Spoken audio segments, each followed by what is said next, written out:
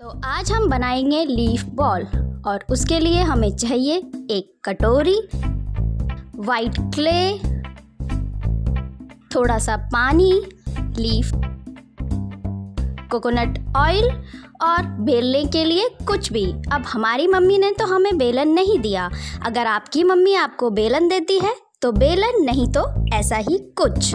तो चलिए शुरू करते हैं।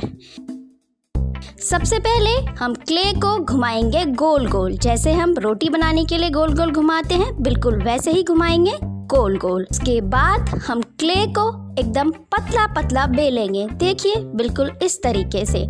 और जब ये बहुत पतला हो जाएगा तो उसके बाद हम उस क्ले के आगे पीछे लगाएँगे तो लीव्स। देखिए ऐसे। जो ये मार्क वाला साइड है, वो हमें क्ले के ऊपर लगाना है।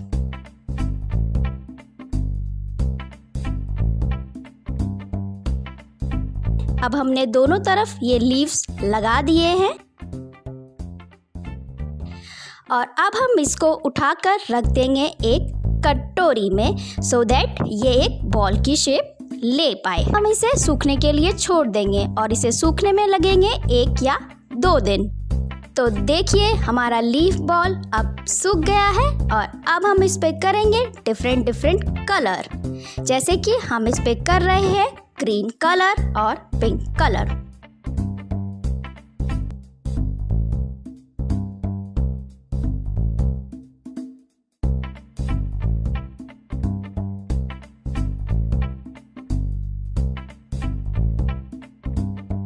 और अब हमारा लीफ बॉल बनके तैयार है और हम इसमें रख सकते हैं कुछ भी छोटी मोटी चीज़ें, जैसे कि ये छोटा सा ब्रेसलेट और ये छोटी छोटी अंगूठियाँ।